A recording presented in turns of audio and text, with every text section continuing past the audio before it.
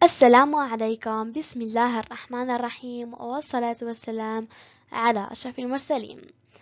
ها قد عدت لكم في فيديو جديد وها قد تجدد لقائي بكم.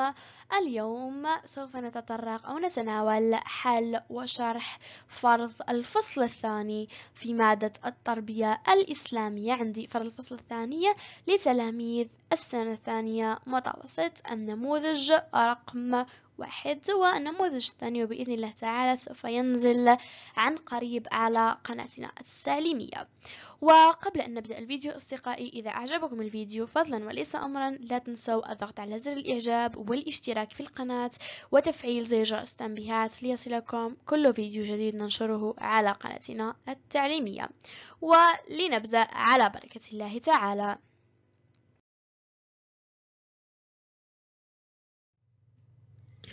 إذا عندي هنا الوضعية الأولى. واحد أكمل قوله تعالى واضبطه بالشكل. بسم الله الرحمن الرحيم. عندي إذا السماء انفطرت إلى وإن الفجار لفي جحيم. هنا أولا راح نكملوا الآيات. هنا أكمل قوله تعالى سورة الانفطار. واثبته بشكل وأكيد راح نثبته بشكل ثانيا اشرح المفردات التالية. عندي انفطرت فعدلك و بعثرت. إذا عندي انفطرت فعدلك وبعثرت. وثالثا ما هي مظاهر قيام الساعة الواردة في الآيات الكريمة؟ الوضعية الثانية الآن شجع الإسلام على امتلاك الثروة بالطرق الحلال وأن يستمتع بها الإنسان. ودعا إلى إنفاقها في مختلف وجوه البر دون نسيان الفقراء والمحتاجين. شجع الإسلام على امتلاك الثروة وهذا بالطرق الحلال أكيد وأن يستمتع بها الإنسان وأيضا دعا إلى إنفاقها في مختلف وجوه البر دون نسيان الفقراء والمحتاجين. الآن بالنسبة للتعليم أو المطلوب. هنا وشو المطلوب مني؟ أولا ما الذي تكف من الذي تكفل بتحديد قائمة المستفيدين من الزكاة؟ وأذكر الدليل على ذلك. من هو الذي تكفل بتحديد اللي حدد قائمة المستفيدين من الزكاة؟ وسنذكر الدليل على ذلك. ثانيا من هم الأشخاص الذين تجب عليهم الزكاة؟ من هم الأشخاص الذين تتوجب عليهم الزكاة؟ وثالثا وأخيرا وليس آخرا ما هي, ما هي الشروط الواجب توفرها في المزكي؟ ما هي الشروط التي يجب أن تتوفر في المزكي؟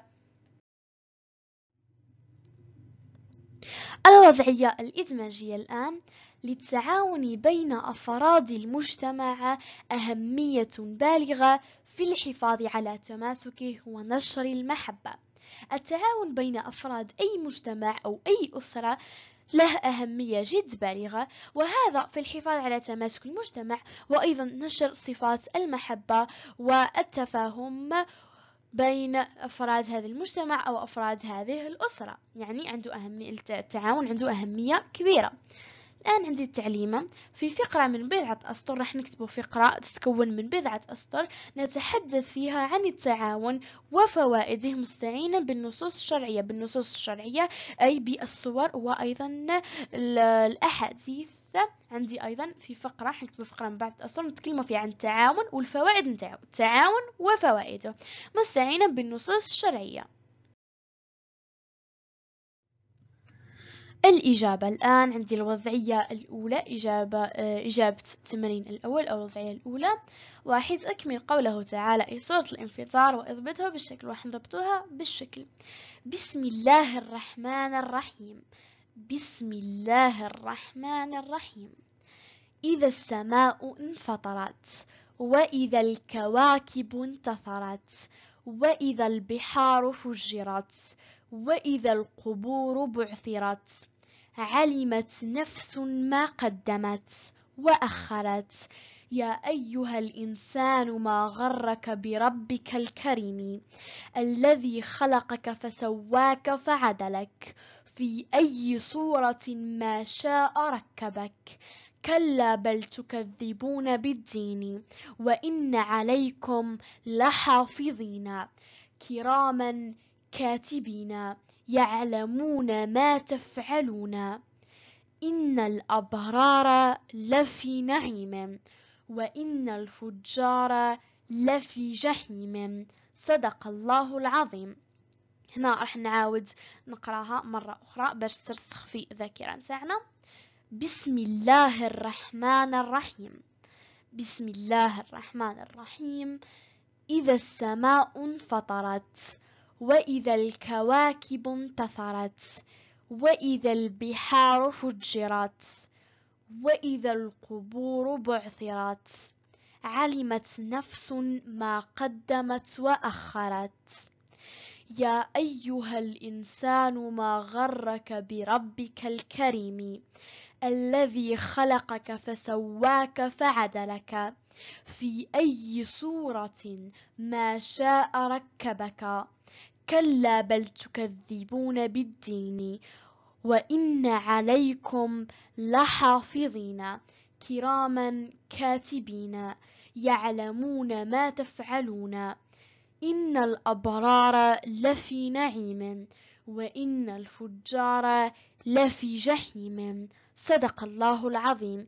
إذا هنا نلاحظ أكملنا قول الله تعالى وأكملنا هنا كتابة الآيات الكريمة. وأيضا أضبطناها بالشكل. الآن راح نروح للجزء الثاني. ثانيا عندي شرح المفردات التالية. عندي انفطرت فعدلك وانتصرت عندي أولا انفطرت ومعناها هو انشقت انفطرت أو انشقت فعدلك وتأتي بمعنى جعلك معتدلا أي متناسب الخلق وانتثرت أي تساقطت. انتثرت تساقطت. ثالثا مظاهر قيام الساعة الواردة في الآيات الكريمة. أولا تكوير الشمس. ثانيا تفجير البحار. ثالثا تساقط الكواكب. ورابعا خروج الأموات من القبور. تكوير الشمس تفجير البحار تساقط الكواكب وخروج الأموات من القبور. الوضعية الثانية. واحد. الذي تكفل بتحديد قائمة المستفيدين من الزكاة هو الله سبحانه وتعالى. والدليل على ذلك هي الآية الكريمة.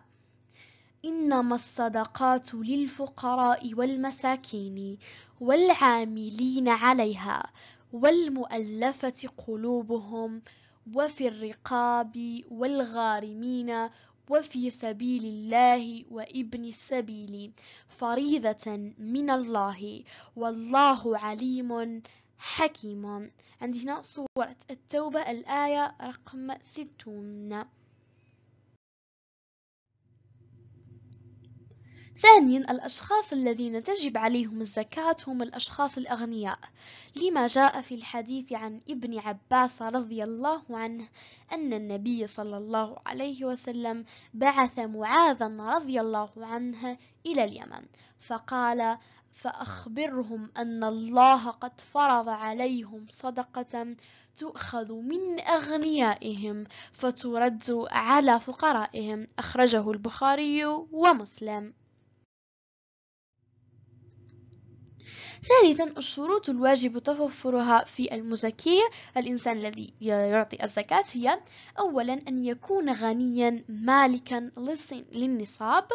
وثانيا أن يمر على هذا النصاب عام كامل أي سنة قمرية كاملة. وثالثا أن يكون ماله خاليا من الدين وأيضا أن يكون ماله خالي من الدين وأيضا يجب أن يكون ماله حلالا.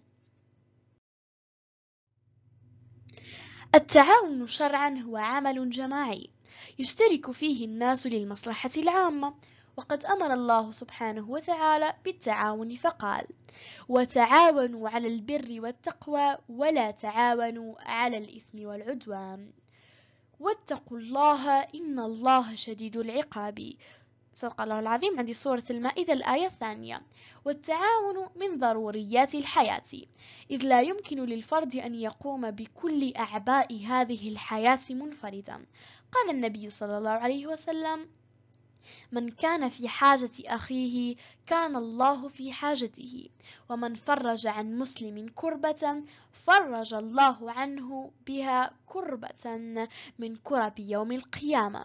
ومن ستر مسلما ستره الله يوم القيامة. رواه البخاري.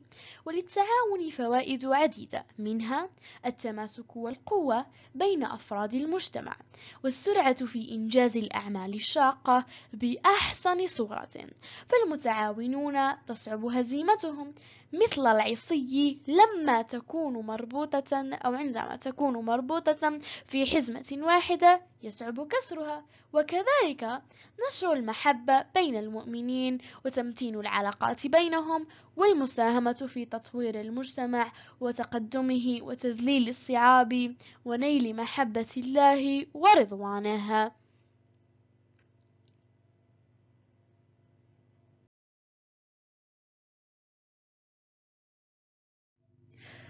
وفي نهاية هذا الفيديو أشكركم أصدقائي على حسن الإصغاء والمتابعة. شكرا وإلى اللقاء.